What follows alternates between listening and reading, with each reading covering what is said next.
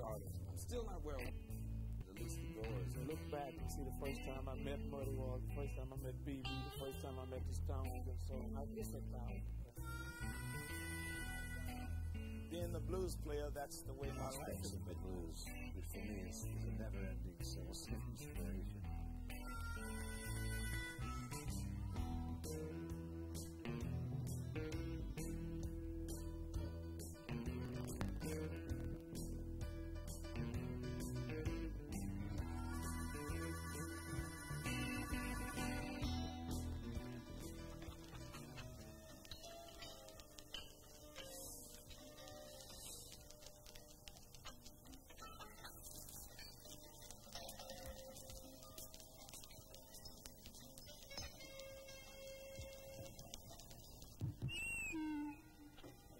ladies and gentlemen. Welcome to Club El Mundo Elegante. It gives me great personal pride and pleasure in presenting to you the, um, the Mulabanda Rhythm Aces.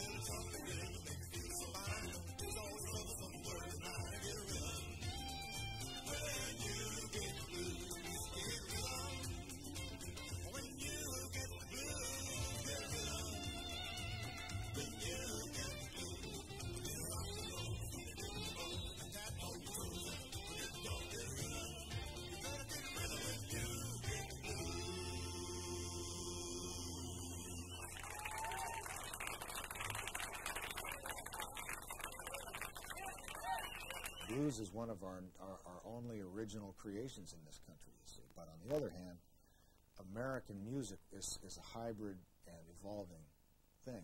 There's no tradition, really. You know, you don't have hundreds of years of fiddle playing one way or hundreds of years of singing one way. You have just these, all these people thrown in for about a 200 year period, and everything gets mixed up. And the blues seems to be Uh, there's a lot of theories about what it is, but where is it anyway? You know, it's in Mississippi mostly. There's it's in Texas too. There's it's you, you have blues suddenly became a popular thing, and everybody was told, you know, have you got any people in this little town who can sing the blues? And somebody says, I do. Well, do that. And so I also do circus music. I also do pop music. Well, we don't want that. Boy, you sing blues for us, we'll give you fifty dollars. Well, okay, here I go. You know. So it's like everybody's singing blues. You got Ma Rainey on the Tin Pan Alley side, or Bessie Smith on the organized side out of New York. And then you've got it down to some crazy rural character like Henry Thomas in Texas, who's just so out back. They were given the task. I mean, they were told, "You blues is what we want." The white guys come down with the recording apparatus and say, no, don't do that other stuff. Do blues. God knows what was lost during the Depression. This this uh, this tendency to sing about life and make up songs about life flowered alongside the growth of the record industries. It wouldn't have happened had it not been for the record industry in this country. So technology always plays a part, you know. Because the record business had grown up from the 20s, let's say, to the 30s. We had better quality records, more record players in people's homes. I'm talking about country people because city people didn't listen to that didn't know it existed. But um, it's a it's a it's a story of American life before the big explosion of consumer consumerism that we're now swallowed up in, which came after World War II. See, so this was your last look and the first look really at uh, real life. Black people came to the cities and they had a tough time in cities, and then they got things got better, and now you've got you know, shooting and gangs in South Central LA, and what are you going to do about that? But it's not about the blues anymore. It's not about that country thing. So, but on the other hand, the funny thing I see is a lot of black people at blues shows. You didn't used to see any. God, no. They go anywhere to get away from it, you know. Rather go see Motown shows or respectable, well dressed, you know, of course. Uh, but now this this idea of everybody has roots become rather popular. And maybe because you get a certain distance away from it, generations, I think it's time, really, you know. And you can look back and say, well, that was my grandfather's time, and they suffered. But I'm out of that now, so I can dig this music. There's something for me in this music. You know, I might even find uh, a sense of pride or pleasure in it.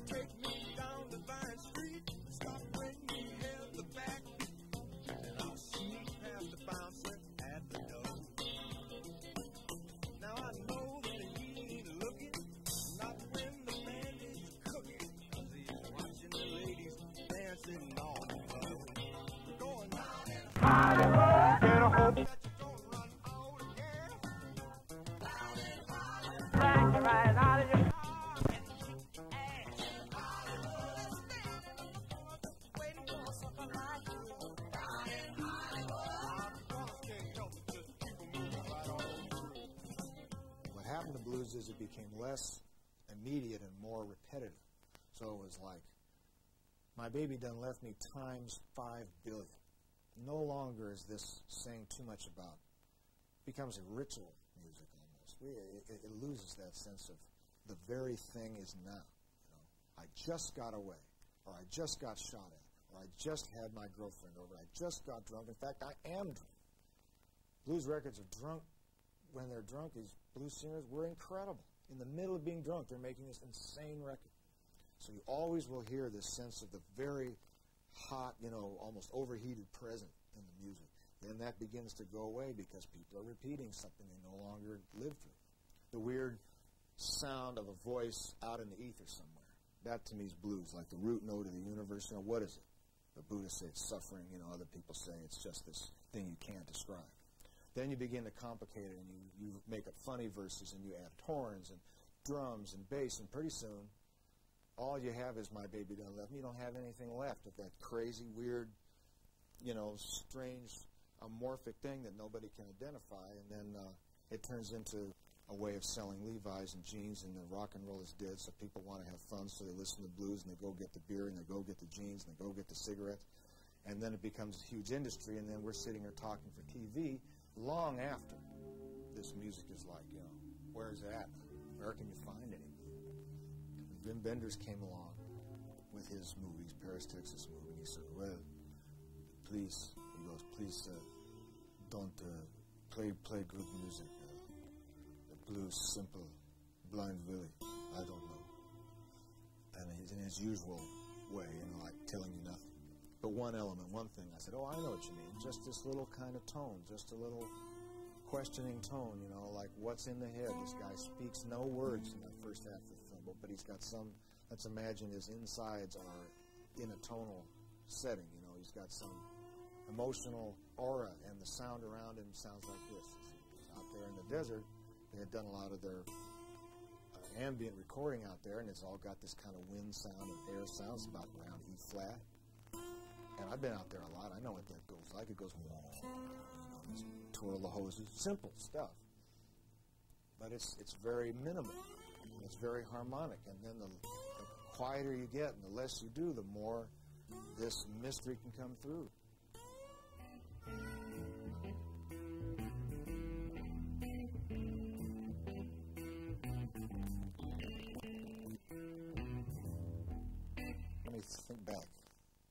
I was about four, I had a, an accident at this eye, and it was really awful. You know, a little kid, and what is a little kid going to do? You know, terrible.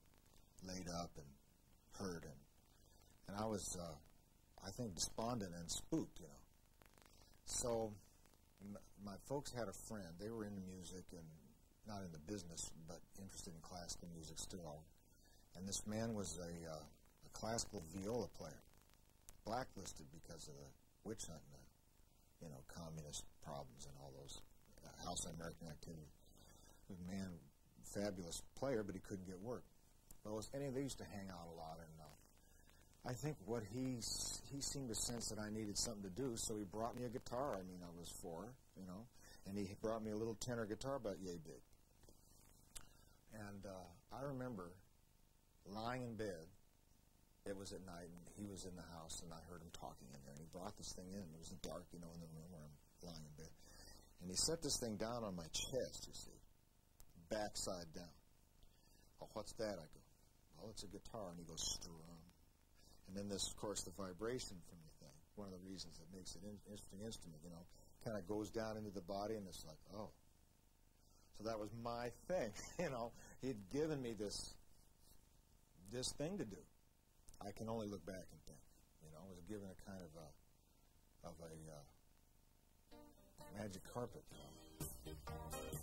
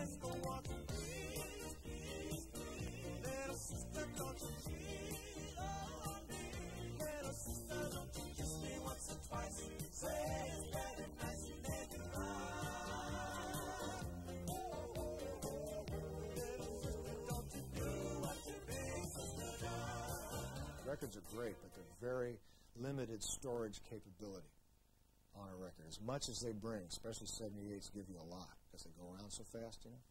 There's a lot more stuff in those grooves than on a 33.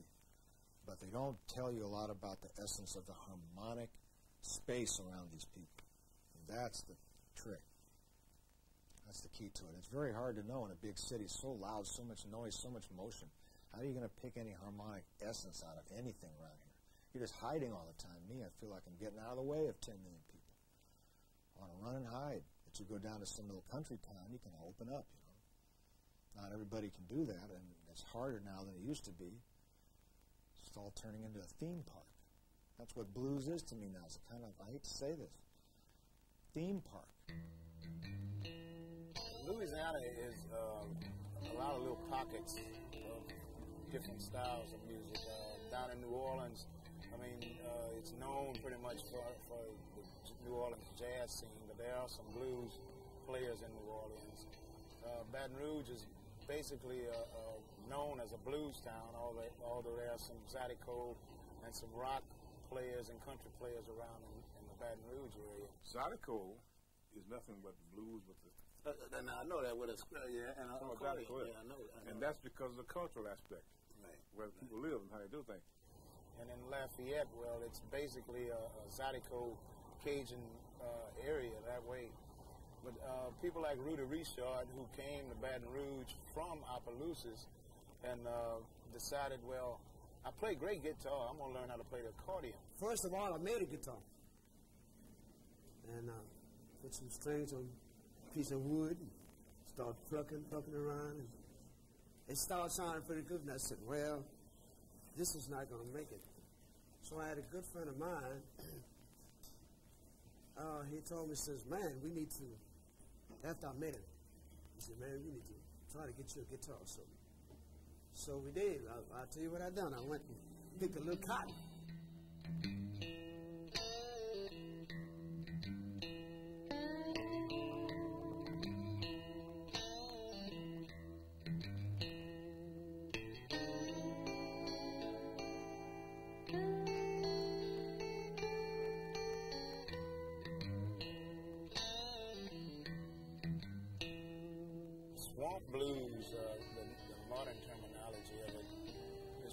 Much uh, open E type uh, blues. That's uh, not really not really a romantic blues in my opinion.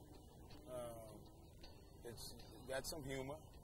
Where Delta blues, what they call it, you got a lot of slide guitar work and, and, and stuff like that. In Texas, you got more of a rocking, uh, uh, upbeat thing happening. Hard in Chicago, it's kind of a mixture of all that since it's the big blues melting pot. And I got this guitar and brought it home. The first thing my mother said, "You think you're gonna be able to do anything with this little guitar?" I said, "Mama, you just wait and see." Uh, how, how hard is the competition? You know, we're competing with like the blockbusters, the CD stores, and, and all the bigger bigger stores. Well, it's, it's absolutely it's, it's difficult really to, to compete with them. The reason I'm uh, I guess I, I I'm dedicated to staying is because I was around when all of this stuff was uh, was being played on the bandstand. Most of it, all, eh, especially the old stuff, because I was in the band business myself for like, like 40 years. I had a band, my, my own band for like more than 25 years. So we talked with Chuck Mitchell last night, and he said that uh, that y'all had like like a, something going on a while back. I was under contract there with uh, Buddy Stewart for a couple of years, you know, maybe five or six years. And uh, we did a lot of traveling right around the 50 mile area. Well, yeah. Well, I I, I'm, I have produced Chuck Mitchell. I'm, I'm, I'm I wrote his first song, uh, both sides of the record, and I produced it. And, uh, uh, that's around back in 1965. But then I was, I actually started in the business itself in 1945. Uh, Well, you and Terry must have you, and Terry must have hung out a lot. Huh? You and Terry must have hung out. Uh, I must tell you, what people don't say well, I'm before Tavis time. Yeah, it was 45. He said he did in 50.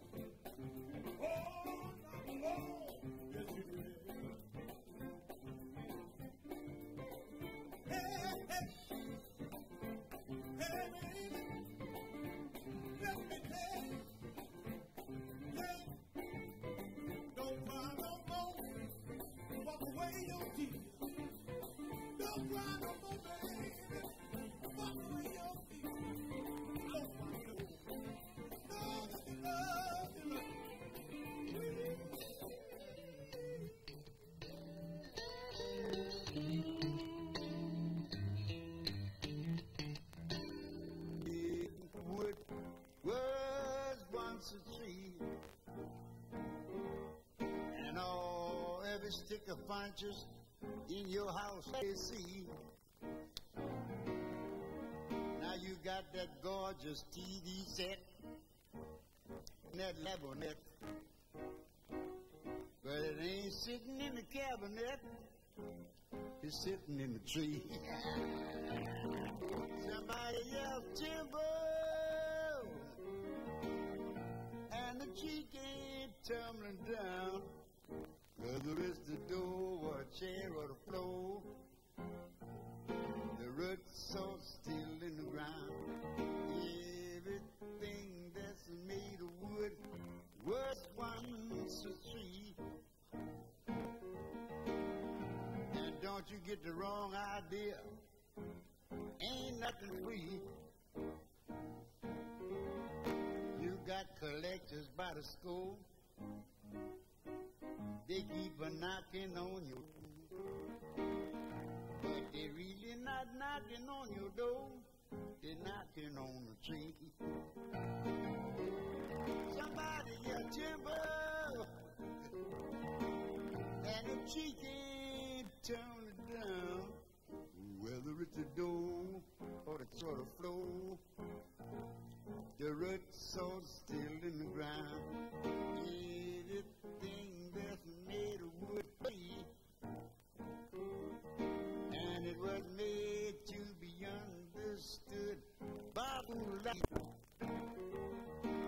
Now when you dead, they weep, and when you buried six feet deep.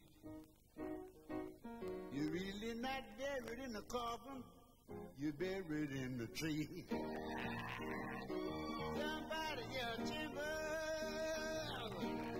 yeah, and the tree came tumbling down. Whether it's the door or the chair or the floor, the roots are still in the ground. And don't start bringing me down, cause everything that's made of wood was once a tree.